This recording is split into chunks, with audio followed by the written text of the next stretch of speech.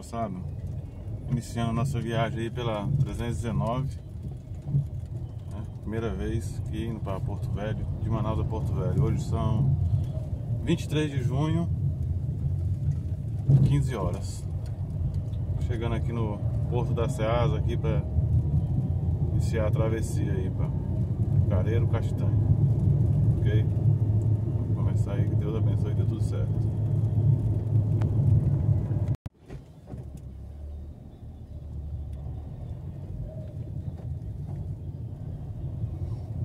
Chegando aí no Porto da Ceasa Essa viagem aí Abasteci o carro, tanque cheio 54 litros.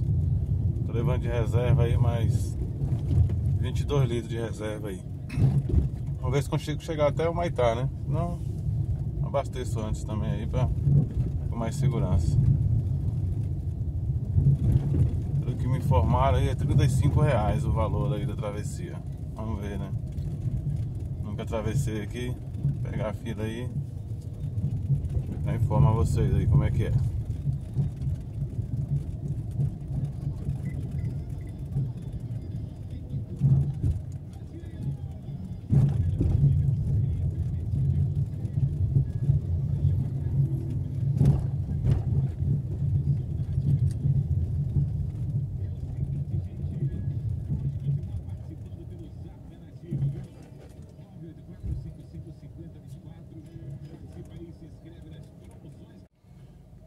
Na balsa aí. Valor confirmado aí, 35 reais.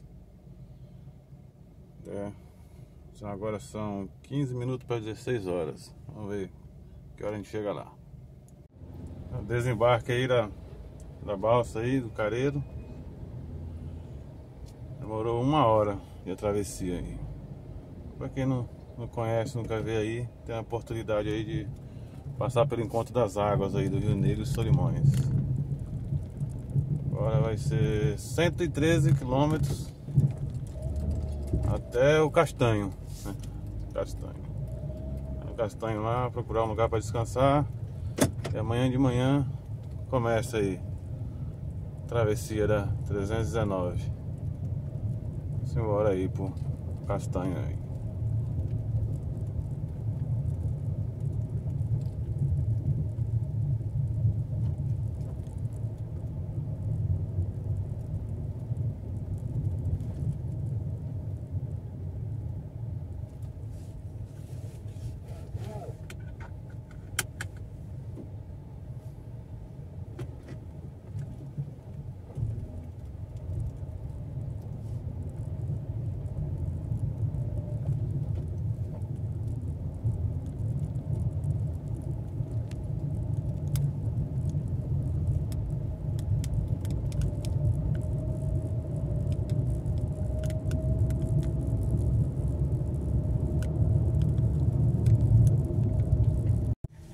Aí, começando aí a viagem.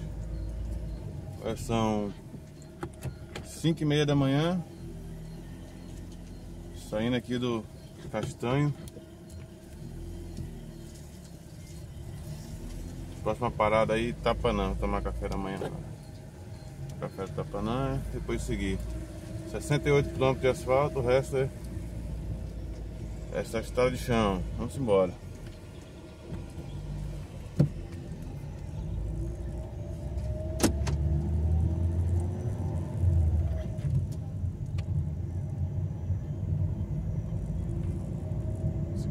No Tapanã. Passando aqui sobre o Rio Tupanã. Hoje 24 de junho, 6 e meia da manhã. Vamos ver isso que é pra daqui em diante. Aí acaba o asfalto. Ver como é que é. Tem um pedaço aí bom aí, né? É muito buraco, muito buraco mesmo. Eu vim devagar, muita serração. Aí de manhã.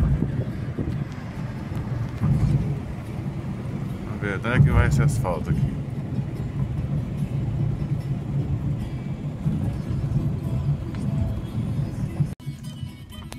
aqui depois do quilômetro 196 é final do trecho pavimentado.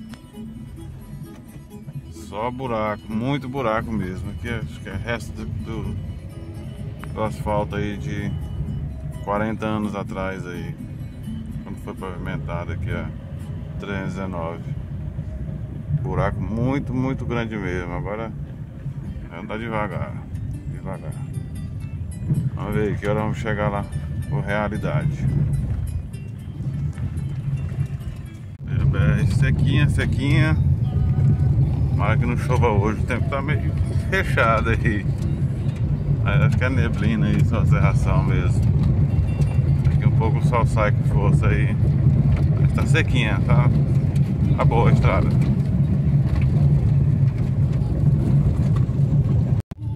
A máquina trabalhando aí. Feitando a BR pra nós. Tudo vapor as obras aí, né?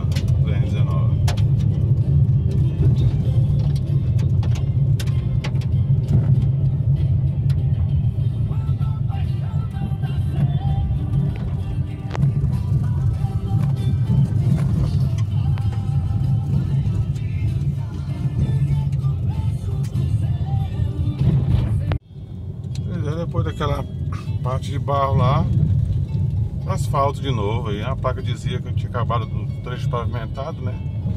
Mas aí vem intercalando assim. Uma parte barro, outra parte asfaltada, mas asfaltada assim, só buraco também. É, que é resto de asfalto antigo aí, de muitos anos atrás aí. Vamos ver onde é que vai, né? Asfalto.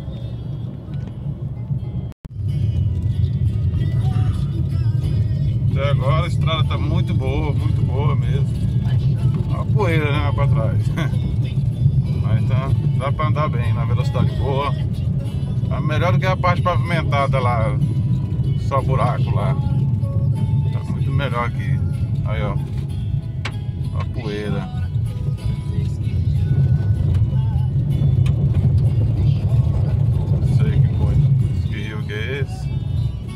Acredito que não vou demorar muito não para chegar em Guapuaçu. Bora ver que hora que eu vou chegar lá. Chegando aqui agora no Igapuaçu. São 8 horas da manhã. É rápido, ó. Mais rápido que eu pensava. Pegar aqui, ajeitar, tomar um café, pegar a balsa. Aqui, esperando aqui a balsa vir de lá pra cá. Até agora, só eu aí. A viatura aí tá só poeira aqui atrás. Ó. Tá bom. Esperar aí. Atravessar. Estrada boa até agora. Muito boa mesmo. Pegamos. Peguei rápido aqui. 8 horas da manhã. Saí 5 e meia lá do Castanho. Vamos ver. Que chega em Porto Velho. Saindo aqui do Igapuaçu. Atravessei a balsa já. Aqui não demora muito não. O cara atravessou a balsa lá só para me buscar. Demorou não. Tomei um cafezinho aqui reforçado para aguentar até mais tarde. Segundo informações aí, são 300 quilômetros até a Vila Realidade. Provavelmente eu não vou chegar lá até meio-dia não. Agora são 8h40. São 300 km, mas é estrada de chão, né? Deixa um pedaço meio ruim de andar, por causa de buraco. Aí eu vou ver se eu aguento aguentar ir até chegar lá para almoçar lá. Né? Vamos ver se dá certo.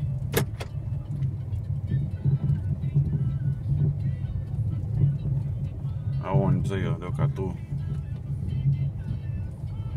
Segundo informações aí, o ônibus saiu de Maitá 6 horas da tarde, passou aqui 4 horas da manhã ontem. Estrada seca, seca, os carros estão chegando limpos, o rapaz da balsa informou. Os carros estão chegando limpos. Então quer dizer que Toledo não tem não. Sequinha BR.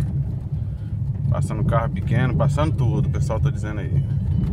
Dizer, carro pequeno ainda são poucos que aventuraram ainda, mas Depois que eu finalizar esse meu vídeo aqui, o pessoal vai começar a vir aí.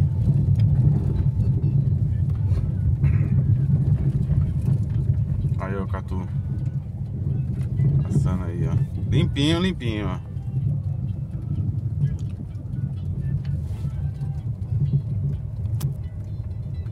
Vinte de junho de dois mil e vinte.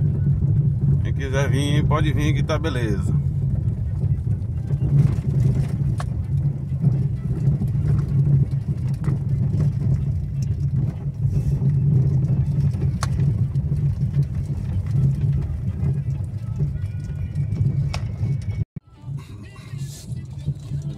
Sul pra cá Aí eu começo a ficar mais ruim aqui um pouco Essa região aqui, tudo que era pequenos atoleiros aí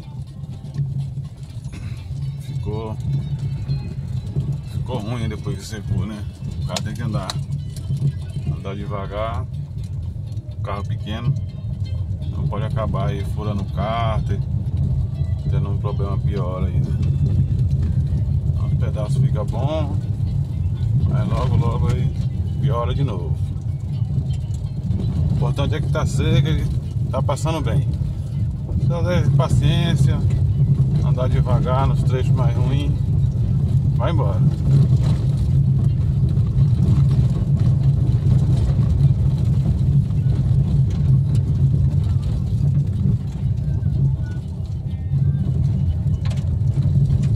Tá melhorzinho o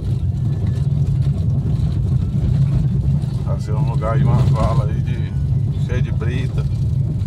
As britas grandes aí. Ela tem que passar bem devagar mesmo. Procurando um melhor lugar para passar. Mas passa tranquilo, passa bem.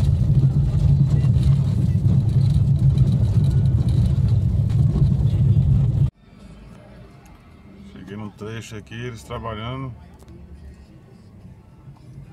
Possivelmente Possivelmente não, com certeza. Era um atoleiro aqui grande aqui. Tem um rachão que eles botaram aí. Até agora a estrada é muito ruim mesmo, muito ruim, muito buraco. Muito rachão aí, as partes que era atoleiro. Tudo duro mesmo, duro, duro. Tá seco, mas tá, tem que ter paciência, vem com calma aí, senão acaba tendo problema maior aí. Passar aqui devagar aqui.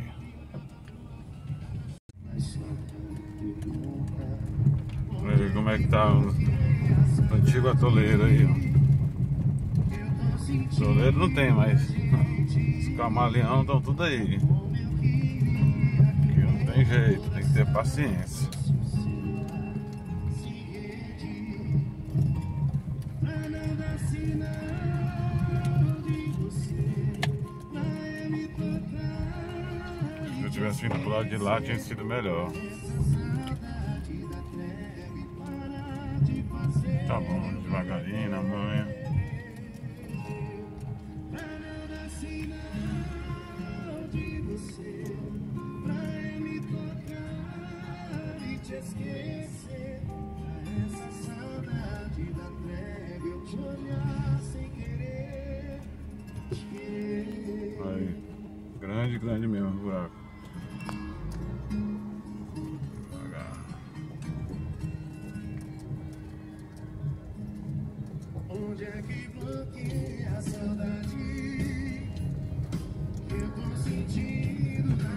outra aparece um desse. Rachão.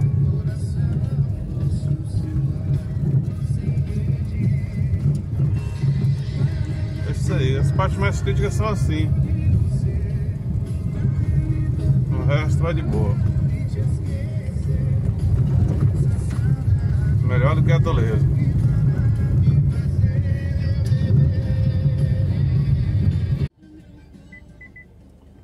Trecho bem crítico aqui, ó. Crítico mesmo. Que era um baita de um atoleiro, ó. o carro for muito baixinho aí é complicado. Eu mesmo já bati já o fundo do carro algumas vezes aqui no rachão.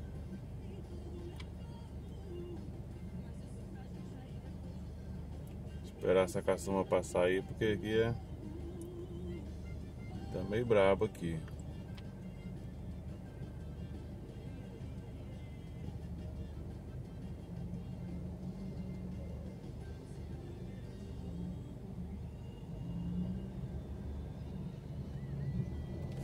Capó Sul pra cá andei pouco. Não rendeu não. Eu tava contente até lá, tinha andado bem. Aí pra cá não tem como. Tem que ter paciência e passar devagar.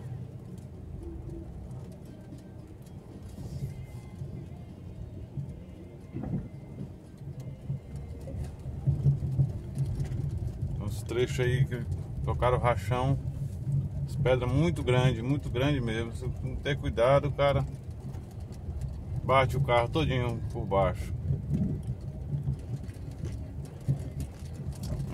Era um, dos atoleiros aí grande. Não sei se é aquilo piscinão também. Era um dos piscinão, né? Os piscinões.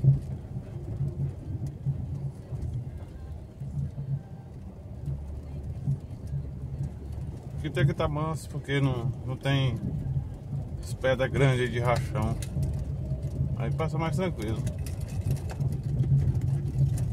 Então o lugar que eu passei tá brabo.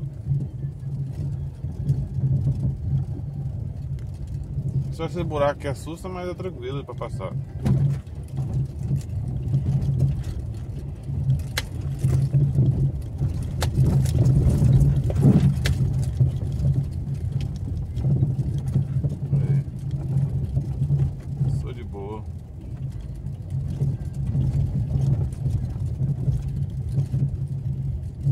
Velocidade pra cá é. No máximo o cara consegue colocar 40 por hora, 50. Carro pequeno, né? A caminhonete passou com o lotado aqui, as caminhonetes do Denite.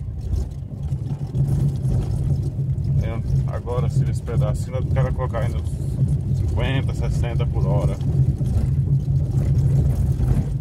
Pra ver se tem mais trecho mais pra frente. E outra área crítica aqui que era na época da Toledo, né? Sei não se aqui que era o tal do piscinão. Provavelmente era.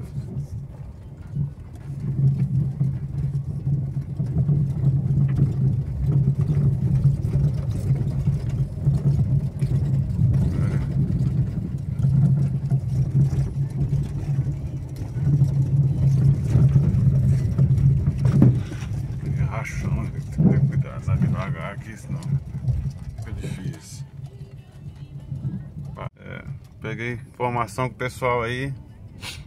Tava aí filmando aí o pessoal do Denite. É isso aí mesmo, ex-piscinão, eles falaram. É isso aí, o famoso. Tem parte. Tá, pra andar com carro pequeno tá bom. Essas partes de rachão, eles colocaram esse rachão, que é a parte mais ruim. A parte mais ruim, tem que ter mais cuidado, que essas pedras são muito grandes. Aí para carro pequeno fica ruim. Passar bem devagar, muito duro. A terra tá muito dura. Mas no mais, no mais tá de boa. As partes que era toleiro que não colocaram rachão, que não colocaram, tá uma beleza para passar. Uns buracos grandes, mas é macio, né? Passa macio. Agora onde tem rachão é complicado, com as pedras muito grandes mesmo. Vai melhorando aos poucos aí, jogando barro por cima e tal, vai dar uma melhorada aí. É isso aí, moçada. Esse piscinão aí da 319. Vamos ver como é que vai ser pro ano que vem, né? Vamos lá. Chegando aqui na Vila Realidade. Agora vai dar já 16 horas. O combustível então o carro entrou na reserva aí a uns 15 km aí pra trás. Eu parei e usei a minha gasolina reserva que eu trouxe. Mas dá pra ter chegado até aqui. Dá pra chegar aqui, que abastecia e seguir de novo com o tanque de combustível vinha. Sem precisar de combustível reserva, né? Mas isso é bom trazer, nunca se sabe. No caso, o meu tanque do carro aqui é 54 litros.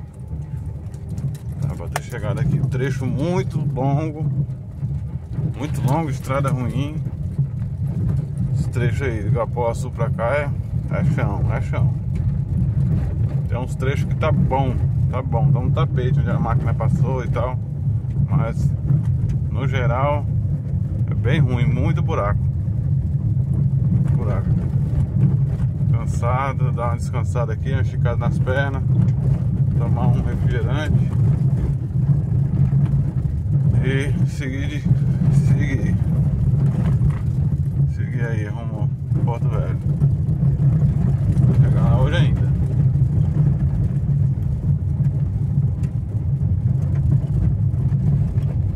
Aí, um posto de combustível aí, ó, na vila.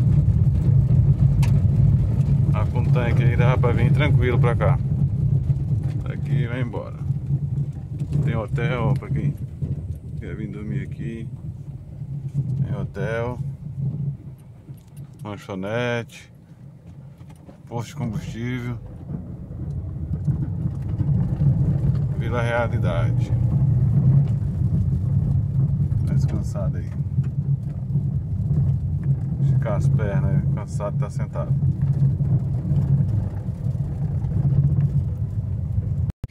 Saindo aqui da Vila Realidade, é 17 horas. Vamos torar aí mais 100 km até o Maitá. Mais 200 até Porto Velho. Pegar uma estrada boa aí de Maitá a Porto Velho e um trecho aí até o Maitá. Vamos ver que hora chega em Porto Velho. Saindo aí, 17 horas da, da vila aí.